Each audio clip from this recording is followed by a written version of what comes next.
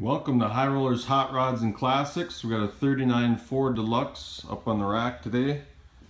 39,000 original miles. It's in unbelievable condition, original condition.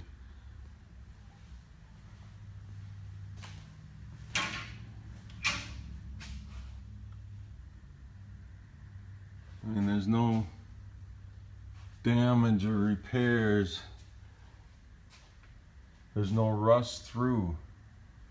Of course there's surface rust, but not rust through. The frame, very solid. Look at the floors.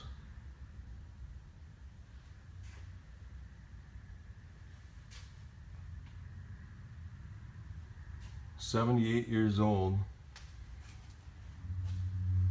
Frame looks great. I don't know if you find too many nice original condition cars with the original steel, original frame. Very nice.